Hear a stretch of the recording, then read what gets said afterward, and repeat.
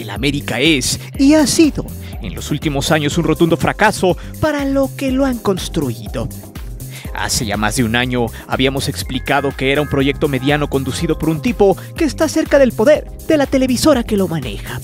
Su nombre, Santiago Baños.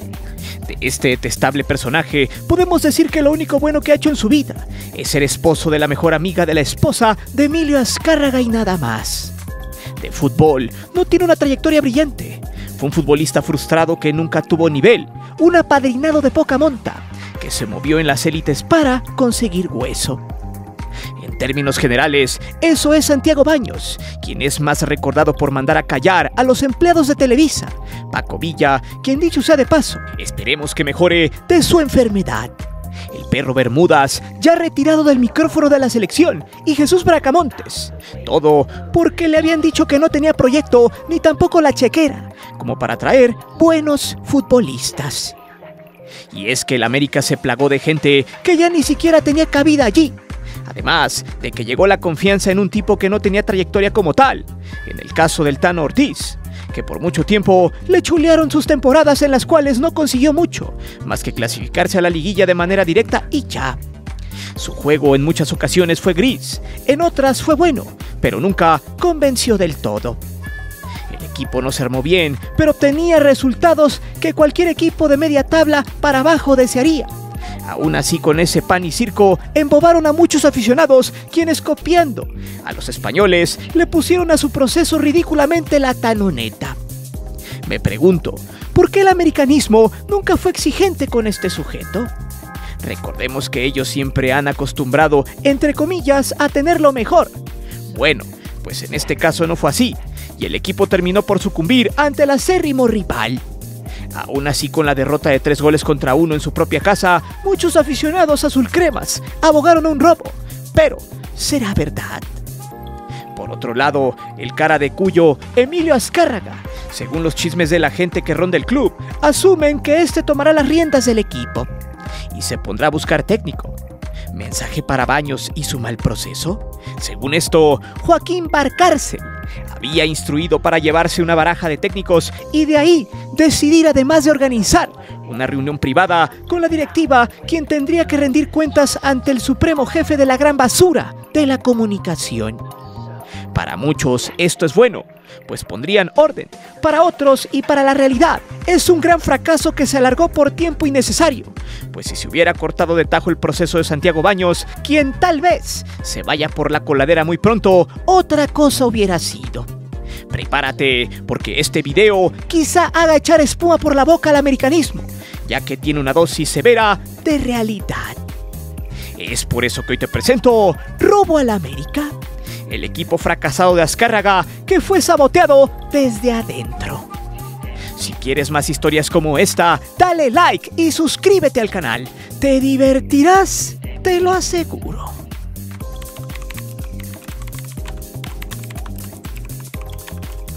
Por mucho tiempo hemos señalado que la Liga MX tiene un nivel muy bajo y cada torneo está en detrimento.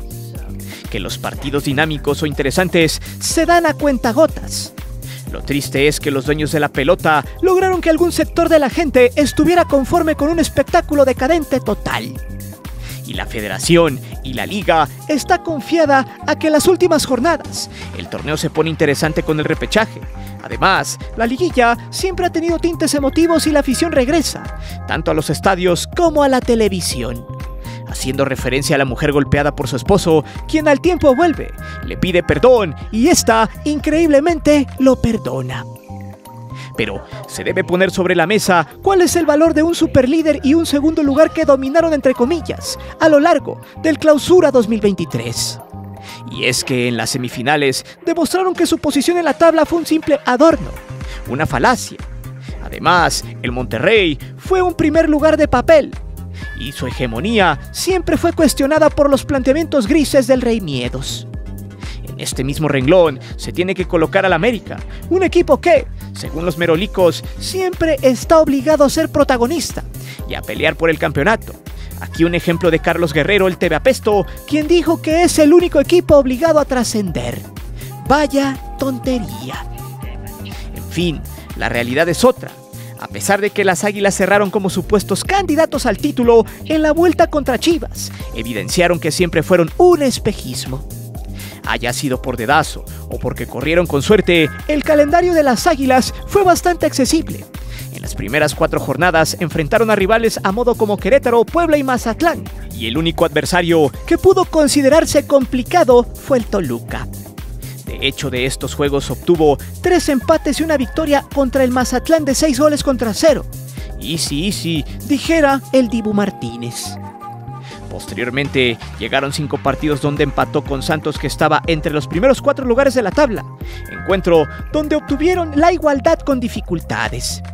Asimismo se impuso por apenas un gol a equipos en teoría débiles como el Necaxa y Tijuana.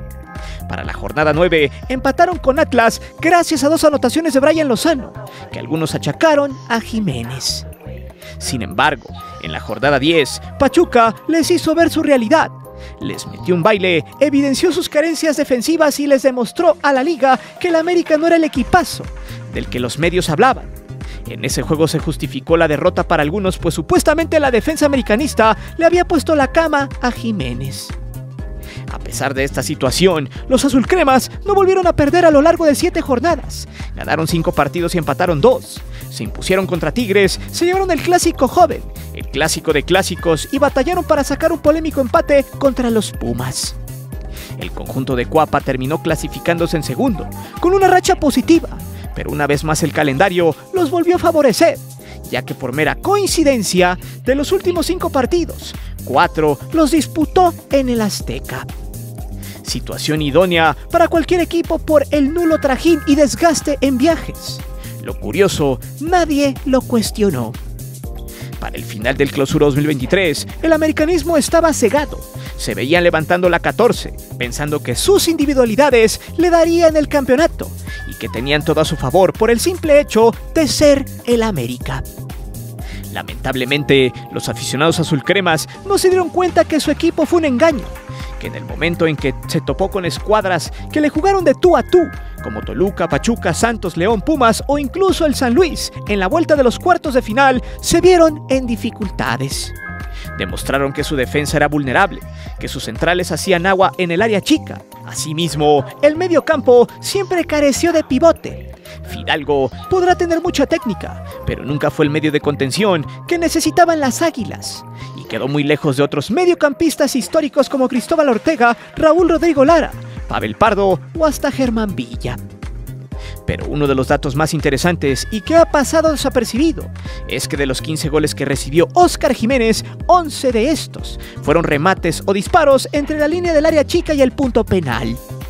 Esta es la evidencia de que a lo largo de 10 partidos el conjunto de Cuapa tuvo un pésimo sistema defensivo, donde los medios no recuperaban la pelota, donde los defensas eran fácilmente derrotados en técnica o superioridad numérica, y los centrales permitieron muchas facilidades en el interior del área. Su lentitud los delató. La realidad es que el América resolvió muchos partidos gracias a sus individualidades, a las carencias de sus rivales y al pobre nivel de la Liga MX. Pero por donde se le vea, esta versión americanista se encargó de vender falsas ilusiones. El cuerpo técnico nunca corrigió los errores defensivos y la plantilla no le dio para más. No obstante, se tiene que reconocer que el Tan Ortiz le sacó todo el jugo posible a un equipo plagado de jugadores que no cumplen con el perfil que este equipo demanda. Pero eso lo veremos a continuación.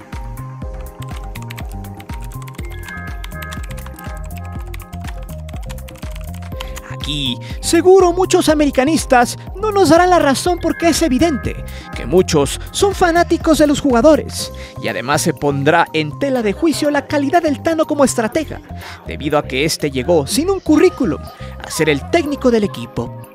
En pocas palabras fue un improvisado, recomendado por Lucas Nardi, quien era auxiliar del fracasado Solari. El Tano había llegado a las fuerzas básicas, en específico a la sub-20. De hecho, no tenía en realidad la pinta para ser técnico, pero la desatención de Azcárraga y la búsqueda de resultados inmediatos, entre comillas, jalaron a Santiago Paños para sacarlo de la cantera, donde no tuvo arraigo alguno, pero muchos le justificaron con eso. Viene de la cantera, decían, pero en realidad tenía muy poco tiempo. Además, su trayectoria era totalmente paupérrima tras dirigir al Sol de América y al Esportivo Luqueño de Paraguay, equipos de medio pelo en aquella liga sudamericana. La carrera del Tano despegó al ser técnico del América, le dio reflector, pero eso sí, hay que reconocer que al menos intentó hacer algo y obtuvo resultados interesantes.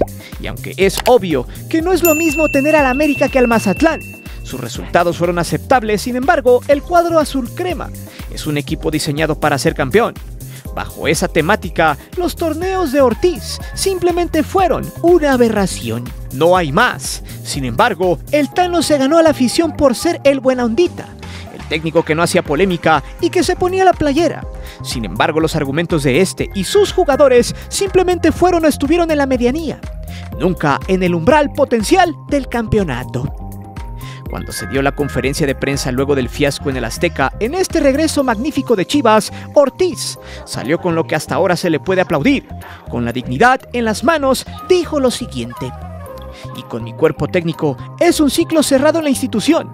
Solo quería decir eso. Que tengan buena noche y buen fin de semana. Ortiz presentaba su renuncia en la conferencia de prensa, misma que sería aceptada desde arriba, pero ¿solo es el Tano el principal responsable de todo este fracaso dantesco? Para nada. Los jugadores también lo son. Un equipo mal armado desde la gestión de baños que hoy cobró factura. América no tenía banca, tampoco defensa. Si vemos jugador a jugador, es inaudito que Miguel Ayun siguiera jugando en este equipo. Un tipo que ya pasó su momento y que a sus 34 años de edad poco le da para jugar en esa posición. Está más preocupado porque no le critiquen. Néstor Araujo es otro árbol que sigue allí cobrando por nada.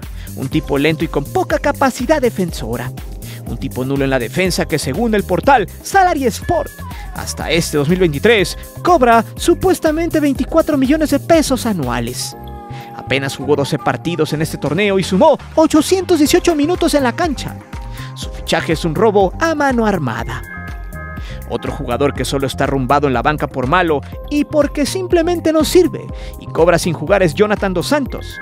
Este chico es solo jugador profesional porque era el hermano de Giobrandi. Si no, quién sabe qué hubiera sido de él. Dos Santos, al igual que Chubaca, ha jugado 12 partidos, pero sus minutos han sido más lamentables, pues solo sumó la increíble y risible cantidad de 229 minutos, una auténtica grosería y estafa para el americanismo. Jonathan cobra alrededor de 22 millones de pesos anuales. ¿Quieren más? Veamos el caso de Roger Martínez y Federico Viñas, dos disque delanteros que tienen más nivel para el Mazatlán o Puebla y que han robado como nunca.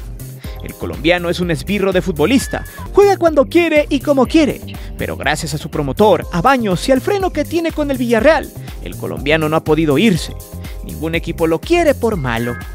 Al igual que los demás, curiosamente jugó dos encuentros, pero este solo sumó 244 minutos totales registrando un mísero gol. Martínez cobra 24.3 millones de pesos. ¿Acaso esto no es un robo? Luego viene Federico Viñas, jugador intermitente que lleva perdido ya más de un año. 13 partidos jugados en este semestre, 245 minutos en cancha, un triste gol. Viñas cobra 13 millones de pesos anuales. Una auténtica agonía. Pero la pregunta de los 64 mil millones de dólares del Banco de la Felicidad, ¿realmente esto es digno del América? He ahí la gran mano de Santiago Baños, quien desde adentro ha destruido a este equipo paulatinamente. Ah, pero eso sí, no lo critiquen porque se enoja y te censura.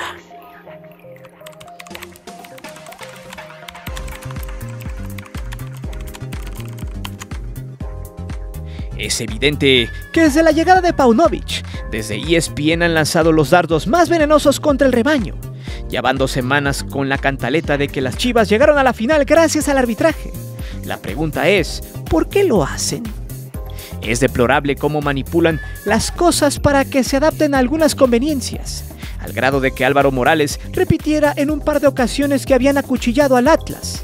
Héctor Huerta dijo que en el primer partido hubo dos penales a favor de los rojinegros que no fueron marcados, y también señaló que, así como otras veces lo han ayudado, hoy lo acuchillaron. Pero, ¿qué credibilidad tiene un tipo que se cambió de equipo y otro que es atlista de corazón. Ese es el problema ahora, que los periodifans y fanáticos ya tienen micrófono. El payaso de ESPN puso en la mesa que el pollo briseño había cometido falta en el gol que le dio el pase a las chivas. Pero esto fue otras de sus ridiculeces. Hasta el mismo Huerta dijo, yo no la vi tan clara. Y Rafa Puente agregó, sinceramente no la aprecié. Pero también dejó un buscapiés para la afición al decir, para efectos del fútbol, nada mejor que una América Chivas. Esa misma noche, varias cuentas en honor al atlismo replicaron las palabras de los merolicos televisivos. Se dieron a la tarea de buscar las imágenes polémicas y exhibirlas, como ejemplos de este supuesto acuchillamiento. Es probable que estas acciones señaladas, tanto por el atlismo como por los paleros, tengan elementos para debatirse, pero ninguna fue tan evidente y descarada como las que le dieron el bicampeonato al Atlas, o mejor dicho, a Grupo Orlegui. Basta recordar el penal inventado en cuartos de final contra el Monterrey, donde el Hueso Reyes fue golpeado por el pasto. El codazo que le dejó la nariz llena de mole a Dineno en la semifinal. Y esa falta de Santa María sobre Eric Sánchez que le pudo haber dado la pena máxima al Pachuca para acercarse al campeonato. Errores evidentes que fueron contra el marcador y a favor de los rojinegros. Pero ojo, porque si el análisis entre comillas posterior al Chivas Atlas fue infame, el que hicieron tras la eliminatoria del América fue ridículo. Héctor Huerta planteó que la llegada del rebaño a la final le conviene a la liga, al fútbol mexicano, a la industria, a la televisión, también a los Santos Reyes, a la vida extraterrestre y a todo lo que se inventan. Pero también declaró que esto no es sinónimo de ayudas, por su parte, Sutcliffe puso sobre la mesa la parte de los derechos de transmisión del rebaño, que Telemundo es quien más paga en Estados Unidos, mientras que en México es un combo donde el que paga tiene los derechos, dando a entender que, como negocio, si queda campeón Chivas sería lo máximo. Esto es bastante obvio. Lo mismo pasó con Cruz Azul, con América en su momento. Es normal que un equipo de gran convocatoria genere esto, mas no que sea por rescatar el negocio. En ese caso, Chivas tendría que estar por lo menos en tres finales en cinco años. Asimismo, en una edición distinta a Fútbol Picante, el payaso de ESPN sacó una teoría de conspiración. Planteó que esta será una final con el objetivo de limpiar la imagen del fútbol mexicano. Que este era uno más de los elementos que se han utilizado para limpiar el fracaso en Qatar, debido a que Chivas juega con puros mexicanos. Con un campeonato de las Chivas, el talento nacional quedaría mejor parado, es por eso que se asegura que el rebaño será campeón, pero no por méritos deportivos. Incluso en ese mismo bloque insinuó de forma tendenciosa que a la industria le conviene dar un campeonato a los Tigres, ninguneando cualquier mérito deportivo de Paunovic y su equipo. Sin embargo, sus compañeros contestaron que era una teoría muy rebuscada y absurda. En realidad pregunto, ¿qué tanto daño le hacen estos personajes a la audiencia? Saque usted sus conclusiones. Estas declaraciones han sido el caldo de cultivo para que la afición rojinegra y azul crema justifiquen la supuesta ayuda que llevó al rebaño a la final. Los detractores del Guadalajara se aferran a una tarjeta amarilla que debió ser roja en el juego de ida por parte del Nene Beltrán un leve pisotón que muchas veces es marcado como amarilla, y una supuesta falta del Piojo Alvarado cuando este llegó con mayor determinación, que Cendejas cuando a leguas. Se vio que fue un choque hombro con hombro, pero por la posición de Cendejas y la inercia del Piojo, el americanista no pudo aguantar la fuerza. En esta jugada se puede haber polémica, pero la realidad es que el Piojo tuvo mejor posición y aventó al seleccionado gringo como si fuera un muñeco de trapo. Asimismo se resalta que esta acción podría ser un error de interpretación, pero jamás será un invento o un descaro. De hecho, si la vuelta en el Azteca hubiera estado amañada, no le hubieran anulado un gol legítimo al rebaño. Asimismo, el Tan Ortiz no hubiera echado toda la carne al asador al inicio del complemento. Porque la América le ganaron bien y con fundamentos en el terreno de juego, pero más que nada con mentalidad y con garra. También hay que agregar que el americanismo ha olvidado que en distintas fases finales su equipo ha caído gracias a sus propios demonios. Sobre todo, no es la primera vez que el fantasma de las expulsiones los azota en la liguilla. Y cuando el equipo está encima y presionando al rival, viene una expulsión tonta. En la derrota del domingo fue Fidalgo. También le pasó a Pedro Aquino en los cuartos de final de ida contra Pachuca, en el Guardianes 2020-2021 Y no hay que olvidar que en la Apertura 2015, Zambuesa cuchilló a las Águilas en la semifinal ante los Pumas. No cabe duda que en esta situación hay amnesia selectiva. A lo largo del clausura, la defensa americanista fue muy criticada. Nunca encontraron una pareja de centrales que le diera solidez a su parte baja. Para muestra, la ausencia de Reyes ante San Luis es un ejemplo fehaciente. Además, como fue mencionado anteriormente, le anotaron muchos goles en el área chica y cerca del manchón penal. El fiasco americanista es responsabilidad de todos en Cuapa. La directiva nunca le dio armas al Tano para ajustar su defensa. Fueron incapaces de encontrar un medio centro nato y fue evidente que no hubo posesión ni presión desde arriba para arreglar el sistema defensivo. Pero es más fácil culpar al arbitraje que reconocer que Guadalajara fue mejor. Y esos son síntomas de quienes no saben perder. Lo que debe hacer el América ahora es reestructurarse, correr a casi toda la directiva, debe rodar cabezas y también jugadores que están apestándose allá adentro, jugadores sin nivel y en la zona de confort, que cobran por ver el partido desde la banca. No por nada algunos examericanistas han criticado esta secta de petardos que siguen arraigados en el club y lo peor, se han convertido en ídolos ficticios de una afición que se está volviendo conformista. Pero dime, ¿el América y sus aficionados no saben perder? ¿Cuáles son los argumentos para señalar que Chivas está en la final por ayudas arbitrales? Déjame saber tus respuestas aquí abajo. Recuerda que aquí leemos siempre los comentarios. Si te gustó el video, compártelo con tus amigos y no olvides de suscribirte al canal y de activar la campana de notificaciones. Mi nombre es Guillermo Antonio. Nos vemos hasta la próxima.